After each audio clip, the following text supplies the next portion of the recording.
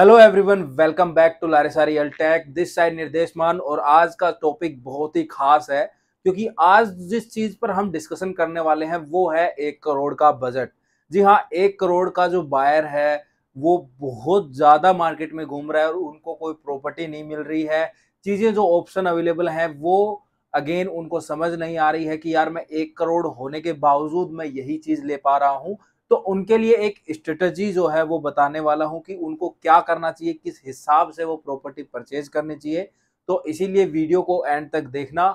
Current में जो option available है, क्या करना चाहिए आपको, उस हिसाब से सारी चीज़ें आपको कंक्लूजन के साथ बताऊँगा। तो आई रिक्वेस्ट की वीडियो को आपको एंड तक देखना है, जिससे अगर आपका एक करोड़ बजट है तो आप जो है कंफर्म हो जाएगा, आपका माइंड क्लियर हो जाएगा कि आपको क्या करना चाहिए, क्या नहीं करना चाहिए। ठीक है? तो चलिए चलते हैं, वीडियो को स्टार्ट कर लेते हैं। तो गाइज़ जैसा कि मैंने आपको बताया था, आपका एक करोड़ का बजट है और आज मार्केट में देखते हैं, यानी कि गुड़गांव की लोकेशन में।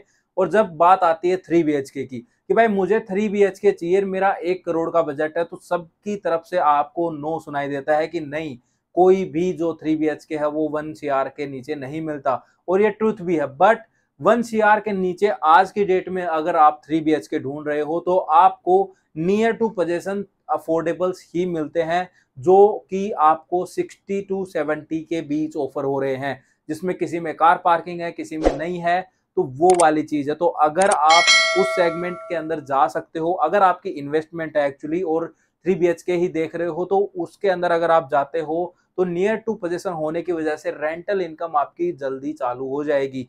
तो इससे आपकी जो इन्वेस्टमेंट एक करोड़ थी, वो इन्वेस्टमेंट भी आपकी कम लगी और दूसरी चीज़, आप जो है, आपका एक साइड इनकम जो है, वो भी स्टार्ट हो गया।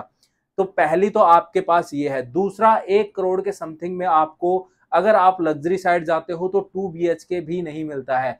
बट टू बी के आपको कहाँ मिलता है, वो बता देता हूँ। टू बी के आपको जो है लो राइज फ्लोर्स के अंदर जो है ऑफ़र हो जाता है, जो कि आपको अफोर्डेबल का एक अपग्रेडेड वर्जन आप बोल सकते हो। जिसके अंदर आपको जो है अगेन चीज़ें जो है मिल जाती हैं। वहाँ पे जो डे टू डे लाइफ की जो हसल है, वो वहाँ पे आपको नहीं मिलेगी। और रेगुलर लाइफ स्टाइल नॉर्मल एक लाइफ स्टाइल जीना चाह रहे हो तो वो जो फ्लोर्स हैं, वो आपके लिए कामयाब है। इनिशियल लग्जरी जो है, वो आपको सिग्नेचर देता है और थोड़ा और अल्ट्रा लग्जरी देखोगे तो अगेन फिर से आपका बजट जो है डगमगाने लगेगा तो वो वाली चीज़ आपको देखनी पड़ेगी। तो कुल मिला के बात यह है कि आपको एक करोड़ में सिर्फ़ two B K low rise floors और थ्री बी के अगर आपको चाहिए तो आपको near to possession affordable project ही आज की डेट में गुड़गांव में फ्रेश में मिल जाते हैं।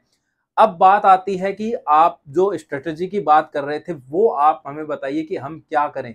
तो गाइज़ देखिए, अगर आपका एक करोड़ का बजट है और आप आज जो है आपके पास, वही बात आपकी saving thirty five forty fifty तक है तो आज और आप जो है एंड यूज़ प्रोस्पेक्टिव से देख रहे हो या इन्वेस्टमेंट प्रोस्पेक्टिव से देख रहे हो तो उसके लिए भी कुछ क्राइटेरियाज हैं जो मैं आपको हमेशा कहता रहता हूँ कि आपको ये फॉलो करने ही चाहिए। तो अगर आपके पास थर्टी फोर्टी फिफ्टी लाख है, क्योंकि आप एक करोड़ का बजट लेके चल रहे हो तो मैं मानता हूँ कि इतनी आपके पास जो है या तो सेविंग होगी या फिर आप अरेंज कर सकते हैं, आपकी कैपेबिलिटीज हैं। तो उस केस में क्या सिस्टम है?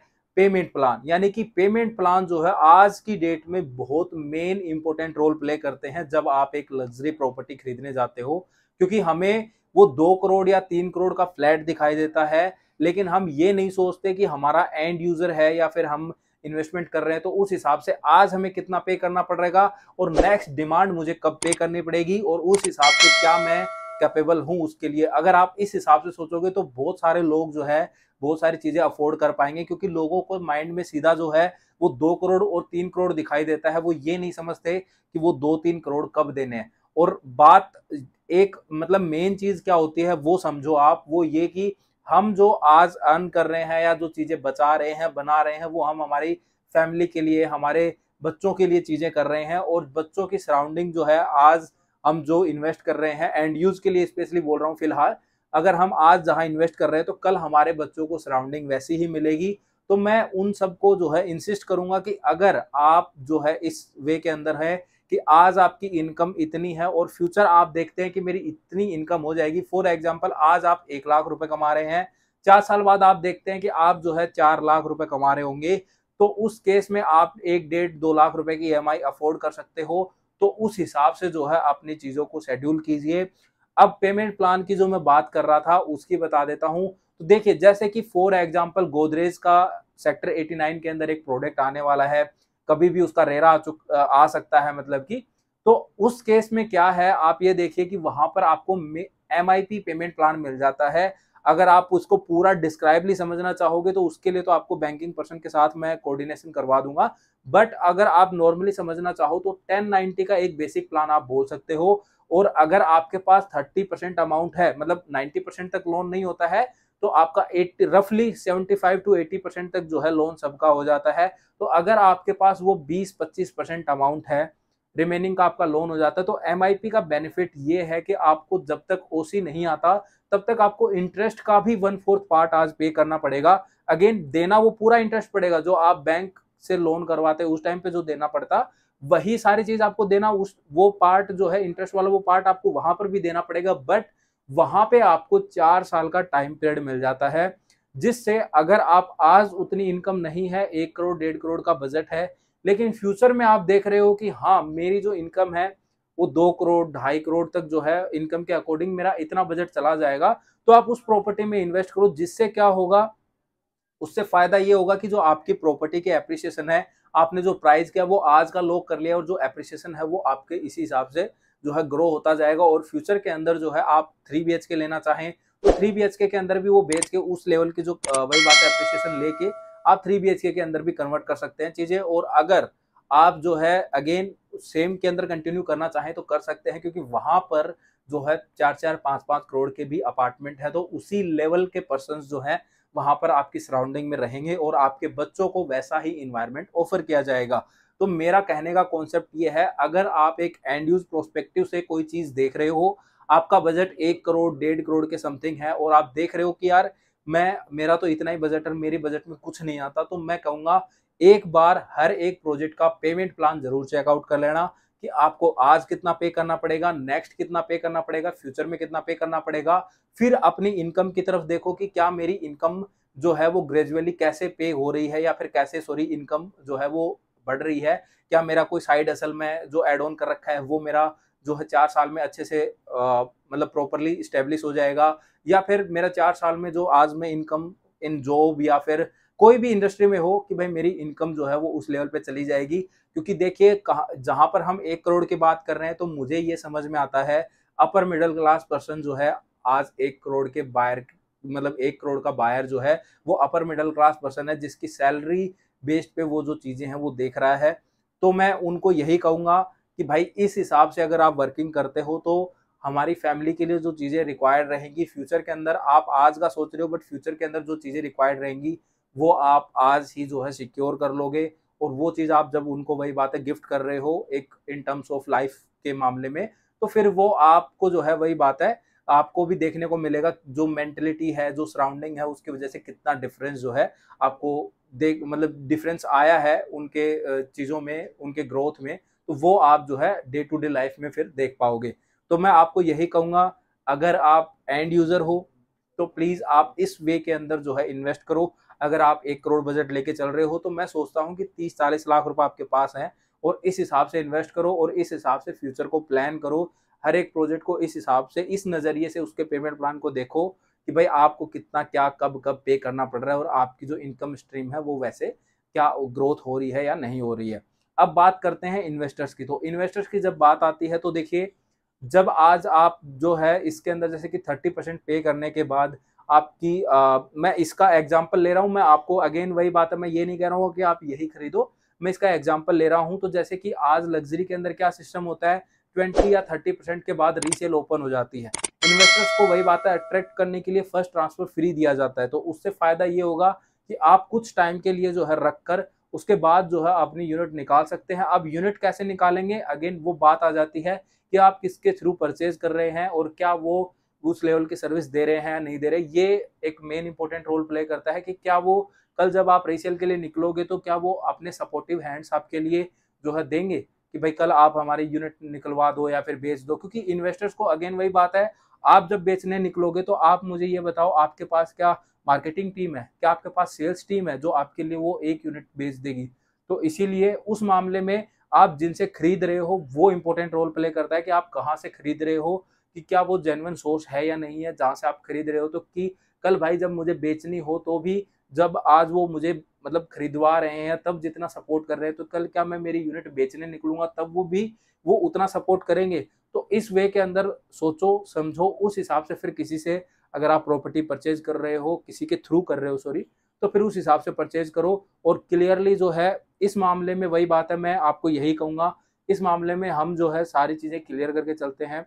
कि क्या आपके पास होना चाहिए, क्या फ्यूचर के अंदर जो है आप रख सकते हो, नहीं रख सकते, सारी चीज़ें आपकी फाइनेंशियल कंडीशन के हिसाब से आपको बेस्ट से बेस्ट चीज़ सजेस्ट की जाती है कि भाई आप इस वे में प्रॉपर्टी लोगे तो अप्रिसिएशन भी कमाओगे, पैसा भी कम जा रहा है और चीज़ें भी जो है आप अच्छी बना लोगे, जिससे आपका फ्यूचर के अंदर जो पैसा है वो आपका अच्छा खासा ग्रो करेगा। तो गाइस अगर आपका एक करोड़ का बजट है, आप एंड यूज़र हो या इन्वेस्टर हो तो इस वे के अंदर, इस हिसाब से अगर आप इन्वेस्ट करते हो या चीज़ों को कैलकुलेट करते हो, देखते हो, अपनी चीज़ों को समझते हो तो अगर आप इन्वेस्ट करोगे तो मैं कहूँगा आप वो प्रॉपर्टी भी ले पाओगे जो आप, आज आपके लिए बहुत बड़ी नज़र आ रही है तो वो वाली चीज़ भी आप जो है कर पाओगे।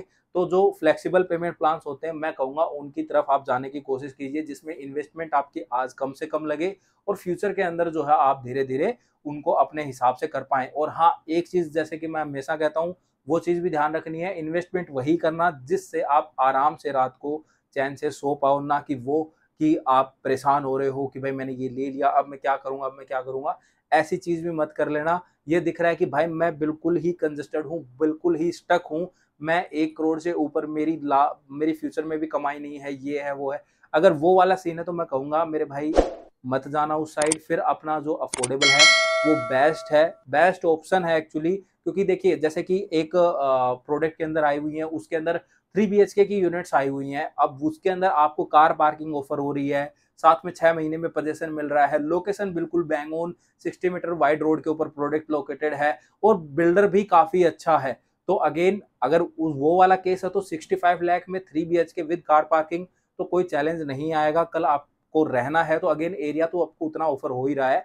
तो आप रह पाओगे, जितना जो है कारपेट एरिया आप ऑलमोस्ट देखोगे तो जो लग्जरी के अंदर चीज़ें होती हैं, उतना ही जो है ऑलमोस्ट इधर भी निकल के आता है, जो यूज़ कर सकते हो आप एरिया तो ये वाली चीज़ है। तो मैं आपको यही कंसिडर करूँगा, अगर आप एक करोड़ पे स्टक हो कि मैं एक करोड़ से एक रुपया नहीं ज़्यादा जा सकता, कैसे भी कर लू, कैसे भी कहीं से भी कुछ भी अरेंज कर लू, पर भी मेरा एक करोड़ से ज़्यादा नहीं जा सकता तो मैं रिकमेंड करूँगा कि आप जो अभी near to position construction under construction products हैं अफोर्डेबल के, उनकी तरफ़ जाओ।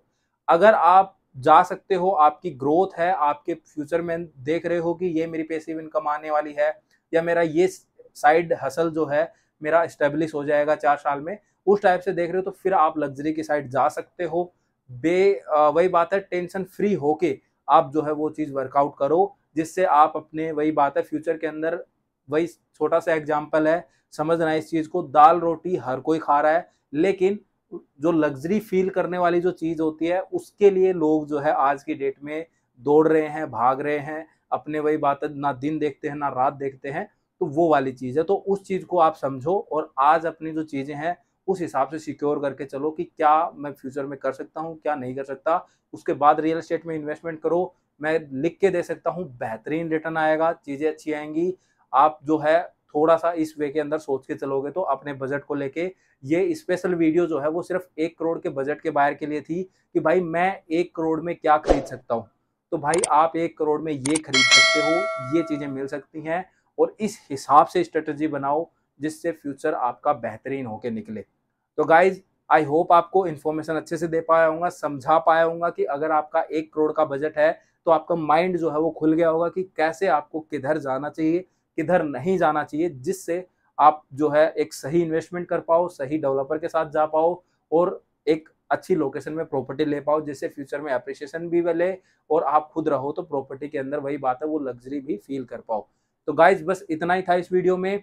मिलते हैं नेक्स्ट वीडियो में और अगर आपने अभी तक चैनल सब्सक्राइब नहीं किया है तो आई रिक्वेस्ट कि चैनल सब्सक्राइब कर लो यार। हमें मोटिवेशन मिलते हैं जिससे आपके लिए और अच्छा अच्छा कंटेंट फ्यूचर के अंदर लेकर आते रहेंगे और अगर आपने अभी तक व्हाट्सएप कम्युनिटी ज्वाइन नहीं किया है तो ज्वाइन कर लीजिए। लिंक आपको नीचे डिस्क्रिप्शन में मिल जाएगा। वहाँ पर हम फ्रिक्वेंटली अपडेट्स डालते रहते हैं कि भाई, क्या आ रहा है, क्या नहीं आ रहा है। कोई डेस्परेट डील आती है तो उसके लिए भी मैं जो है वहाँ पे डालता हूँ और लिटरली कह रहा हूँ, लोग जो है टाइम पे ही जो चीज़ें जो है वो क्लोज कर लेती हैं। उनको आज अप्रिसिएशन मिल रहा है। जिन्होंने लिया, वो फील कर रहे हैं उस चीज़ को कि भाई हाँ मैंने आज लिया था तो आज जो है इस लेवल का अप्रिसिएशन जो है वो वहाँ पे पहुँच गया है। तो गाइज़ बस इतना ही था। मिलता है नेक्स्ट वीडियो में कोई नई इन्फॉर्मेशन के साथ या फिर किसी नए प्रोजेक्ट के साथ या फिर किसी प्रोजेक्ट की कंस्ट्रक्शन अपडेट के साथ। तब तक के लिए गुड बाय